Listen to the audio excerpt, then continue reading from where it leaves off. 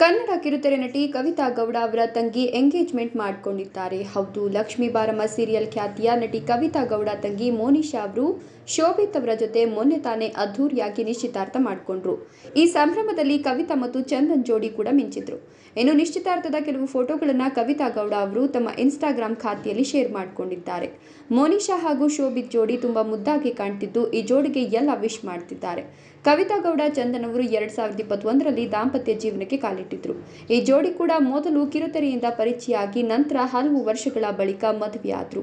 ನೀವು ಕೂಡ ಕವಿತಾ ಗೌಡ ಅವರ ತಂಗಿ ಮೋನಿಶಾ ಅವರಿಗೆ ವಿಶ್ ಮಾಡಿ ಈ ವಿಡಿಯೋಗೊಂದು ಲೈಕ್ ಕೊಟ್ಟು ಎಲ್ಲ ಕಡೆ ಶೇರ್ ಮಾಡಿ. ತಪ್ಪದೆ ನಮ್ಮ ಚಾನಲನ್ನು ಸಬ್ಸ್ಕ್ರೈಬ್ ಮಾಡ್ಕೊಳ್ಳಿ ಥ್ಯಾಂಕ್ ಯು